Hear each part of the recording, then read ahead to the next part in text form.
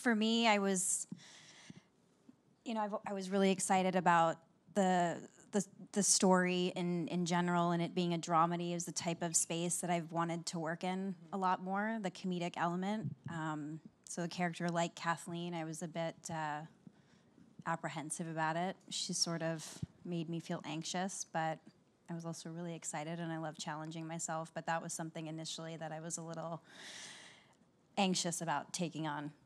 Why? Was it the accent? Because you nailed it. Not just the accent, you're so sweet. No, um, just because of the.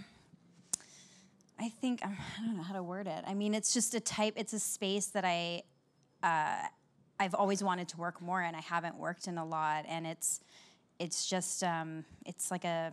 You got to flex a new muscle. It's a new. It's flexing a new muscle because it's just.